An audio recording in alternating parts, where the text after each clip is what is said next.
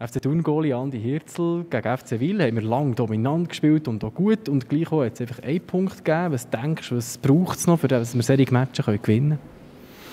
Ja, ich sehe es gleich wie du. Also wir haben, wir haben von Anfang an einen dominanten Auftritt gezeigt und man hat gemerkt, dass wir eine Reaktion zeigen nach dem Wintertourspiel. Und ähm, es hat von der Einstellung gestimmt, es hat von den Zweikämpfen gestimmt.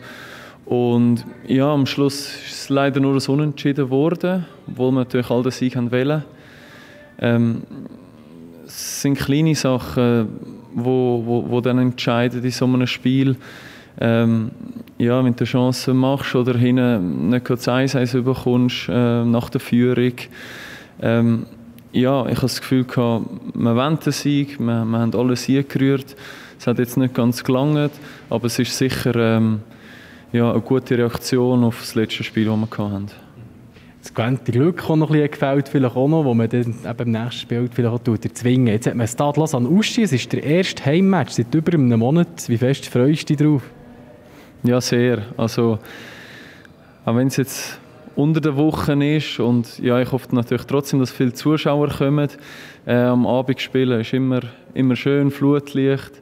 Ähm, ja, ich freue mich einfach auf, auf das Spiel, wieder daheim können spielen ähm, mit unseren Fans, die mitfiebern, die uns anführen. Und ja, unser Ziel ist natürlich ganz klar, dass wir den Fans jetzt auch nach dieser langen Zeit, wo sie nicht im Stadion waren, dass wir äh, ihnen einen Sieg schenken auf jeden Fall. Ähm, Stadlosan Uschi, ein Gegner, der immer so ein bisschen schwierig einzuschätzen ist. Letztes Jahr extrem gut gewesen, starker Gegner. Auch dieses Jahr nicht schlecht gestartet. Wie schätzt du die Wattländer ein? Ja, sicher eine gute Mannschaft. Also, sind schon letzte Saison technisch, spielerisch eine sehr gute Mannschaft gewesen. Ähm, wir haben in der Vorrunde gegen sie gespielt. Da haben wir ein gutes Spiel können zeigen und gewinnen. Die Meisterschaft ist noch mal etwas anderes. Ähm, ich denke, wir, wir haben unsere Qualität, wir werden uns richtig darauf vorbereiten und ähm, wenn wir mit der richtigen Mentalität und der richtigen Einstellung in das Spiel gehen, dann können wir das auf jeden Fall positiv gestalten, das Spiel.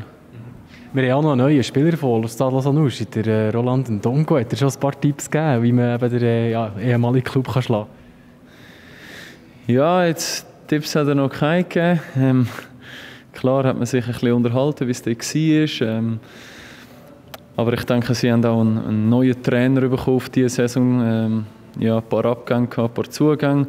Da wird sich einiges geändert haben. Aber ähm, natürlich, für ihn wird es noch ein, ein spezielleres Spiel. Und natürlich wäre es schön, wenn wir, äh, ja, wenn wir das auch für ihn könnten machen und äh, einen Sieg holen für ihn.